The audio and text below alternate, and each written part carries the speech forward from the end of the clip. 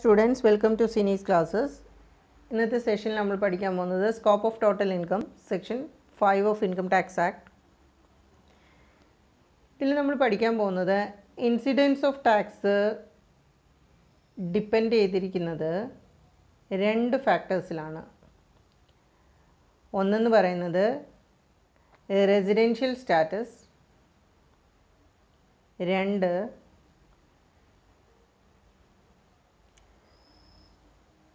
place of accrual place of accrual or receipt of income. ഇപ്പോൾ residential സ്റ്റാറ്റസിന്റെ രണ്ട് videos ഉണ്ട് പ്രീവിയസ് വീഡിയോസ് അത് കണ്ടിട്ട് മാത്രം ഇത് കാണുക. ഇപ്പോൾ റെസിഡൻഷ്യൽ സ്റ്റാറ്റസ് കഴിഞ്ഞു. ഇനി നമ്മൾ നോക്കുന്നതെന്ന് പറഞ്ഞാൽ place of accrual or receipt of income ഇതിന്റെ ബേസിസിൽ ഇൻകത്തിനെ ഒരു പേഴ്സന്റെ ഇൻകത്തിനെ രണ്ടായിട്ട് നമുക്ക് കാറ്റഗറൈസ് ചെയ്യാം.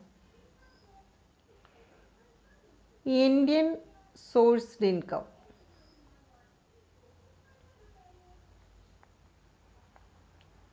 Then foreign sourced income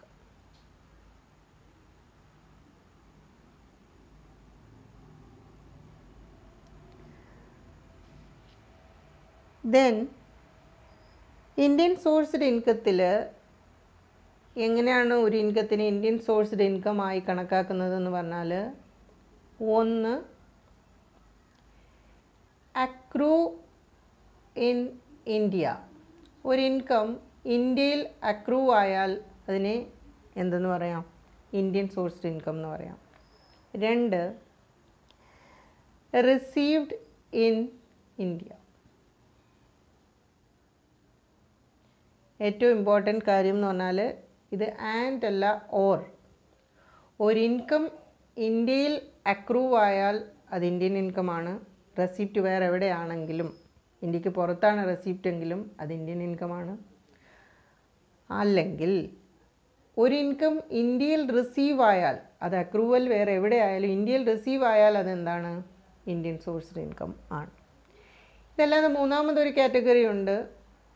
income tax act അനുസരിച്ച് ചില particular ഇൻകങ്ങളെ deem to be deem to accrue in India എന്ന് കണക്കാക്കുന്നുണ്ട്. അതും ഏതിൽ വരും? ഇന്ത്യൻ ഇൻകത്തിൽ വരും. ഇതിലൊരു എക്സാമ്പിൾ പറഞ്ഞാൽ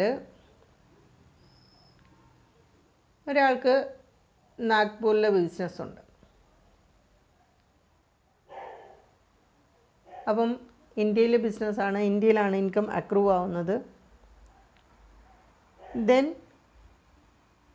ഇൻകം ഈ സെയിം ബിസിനസ്സിന്റെ റിസീവ്ഡ് ഇൻ ലണ്ടൻ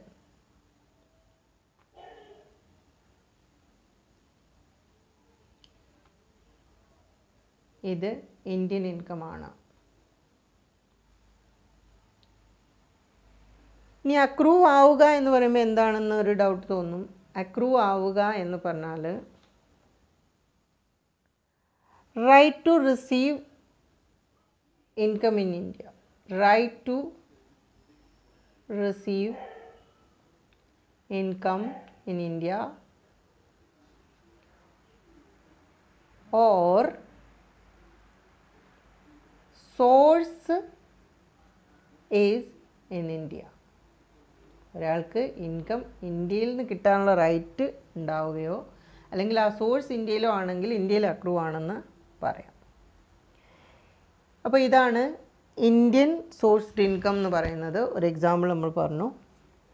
ഇനി foreign sourced income foreign sourced income എന്ന് പറയുമ്പോൾ രണ്ട് കണ്ടീഷനാണ് accrued outside India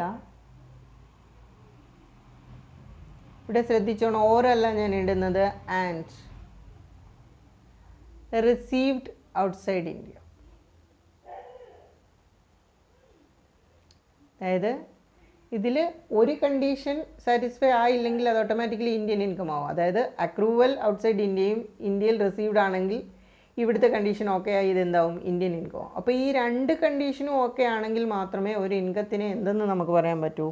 foreign sourced income എന്ന് പറയാൻ പറ്റത്തുള്ളൂ ഒരു എക്സാമ്പിൾ പറഞ്ഞാൽ പ്രോപ്പർട്ടി ഇൻ നേപ്പാൾ റെന്റ് നമുക്ക് അവിടെ തന്നെ കിട്ടുന്നു. റിസീവ്ഡ് ദെയർ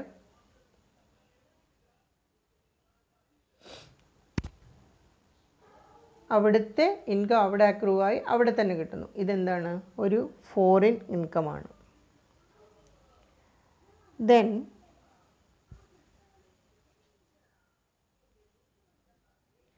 ഇതിലൊരു കാര്യം കൂടെ പറയാനുള്ളത്. ഇന്ത്യൻ ഇൻകത്തിൽ റെമിറ്റൻസ് എക്സ്ക്ലൂഡഡ് ആണ്. ഉദാഹരണം പറഞ്ഞാൽ നമ്മളിപ്പോൾ പുറത്ത് വർക്ക് ചെയ്യുന്ന ഒരാളാണ്. നമുക്ക് അവിടെ ഒരു ഇൻകം കിട്ടി. ഇൻകം കിട്ടി കയ്യിൽ കിട്ടിയ റെസീറ്റായി പിന്നീട് അവിടുന്ന് നമ്മൾ ഇന്ത്യയിലേക്ക് അയച്ചാൽ അതൊരിക്കലും ഇൻകമായി ഇന്ത്യ ഇന്ത്യയിൽ റിസീവ് ചെയ്ത ഇൻകമായിട്ട് കണക്കാക്കത്തില്ല. സബ്സിക്വന്റ് റെമിറ്റൻസ് എക്സ്ക്ലൂഡഡ് ആണ്. ഇന്ത്യയിൽ റിസീവ് ആവുക എന്ന് പറയുമ്പോൾ ഫസ്റ്റ് റെസീപ്റ്റ് ഇൻ ഇന്ത്യ ആണ് ഉദ്ദേശിക്കുന്നത്. അപ്പോൾ ഇനി ഇതാണ് നമ്മുടെ അക്രൂവൽ അല്ലെ റെസീറ്റ് ഓഫ് ഇൻകത്തിന്റെ ഡീറ്റെയിൽസ് ഇനി ഈ ഡീറ്റെയിൽസും റെസിഡൻഷ്യൽ സ്റ്റാറ്റസും തമ്മിലുള്ള ബന്ധമാണ് നമ്മൾ നോക്കുന്നത്. അപ്പോൾ അതൊരു ടേബിളിന്റെ ഹെൽപ്പോടുകൂടി നമുക്ക് നോക്കാം. നമുക്കറിയാം റെസിഡൻഷ്യൽ സ്റ്റാറ്റസ് നമ്മൾ ചെയ്തപ്പോൾ categories ഏതൊക്കെയായിരുന്നു? Resident and ordinary resident resident not ordinary resident non resident ഇൻഡിവിജ്വലിന്റെ H എഫിന്റെയും കേസിൽ മാത്രമേ ഈ രണ്ട് കാറ്റഗറിയും വരത്തുള്ളൂ. അതിലേക്ക് ഡീറ്റെയിൽസിലേക്ക് പോകുന്നില്ല. പ്രീവിയസ് വീഡിയോ കണ്ടോളുക. അപ്പോൾ ഇതിൽ നമ്മൾ സ്റ്റാറ്റസ് എഴുതി മൂന്ന് സ്റ്റാറ്റസ് ഉണ്ട്. അതിലൊന്നാമത്തെ കാറ്റഗറി എന്ന് പറഞ്ഞാൽ income accrued in India then രണ്ടാമത്തെ category income received in India ഈ രണ്ട് കേസും എന്താണ്? ഈ രണ്ട് കേസും ഇന്ത്യൻ സോഴ്സ്ഡ് ഇൻകമാണ് ഈ രണ്ട് കേസും ഇന്ത്യൻ സോഴ്സ്ഡ് ഇൻകമാണ് നിങ്ങൾ ശ്രദ്ധിച്ചാൽ അറിയാം. ഈ ഇന്ത്യൻ സോഴ്സ്ഡ് ഇൻകത്തിന് ഈ മൂന്ന് കാറ്റഗറിയിലുള്ള ആൾക്കാരും ടാക്സ് കൊടുക്കണം.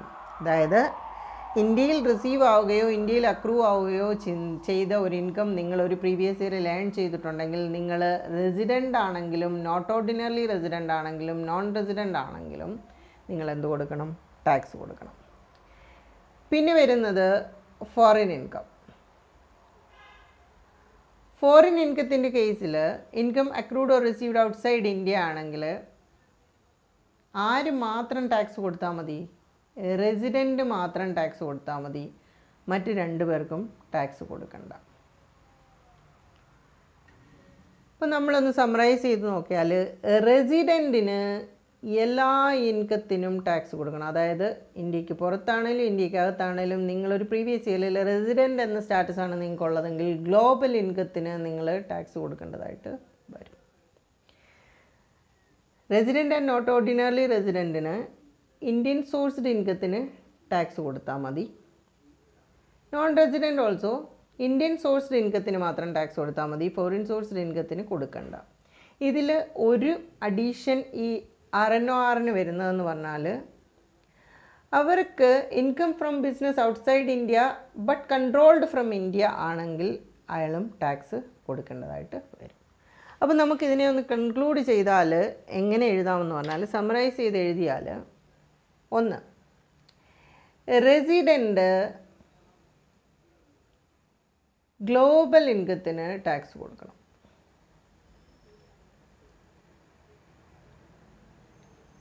അവിടെ വേറെ ഒരു ക്വസ്റ്റ്യനും ഇല്ല. ഇന്ത്യയ്ക്ക് ഇന്ത്യക്കകത്തുനിന്നോ പുറത്തുനിന്നോ അക്രൂവൽ റെസിപ്റ്റ് അതൊന്നുമില്ല നിങ്ങൾ റെസിഡന്റ് ആണെങ്കിൽ നിങ്ങൾ എവിടെ നിന്ന് നിങ്ങൾക്ക് ഇൻകം കിട്ടിയാലും ടാക്സ് കൊടുക്കണം. രണ്ട് നിങ്ങൾ നോൺ റെസിഡന്റ് ആണെങ്കിൽ നിങ്ങൾക്ക് ഇന്ത്യൻ സോഴ്സ്ഡ് ഇൻകത്തിന് മാത്രം ടാക്സ് കൊടുത്താൽ മതി. നമുക്കൊരു ഡിഫറൻസ് വരുന്നതെന്ന് പറഞ്ഞാൽ നോട്ട് ഓർഡിനറി റെസിഡന്റിന്റെ കേസിലാണ്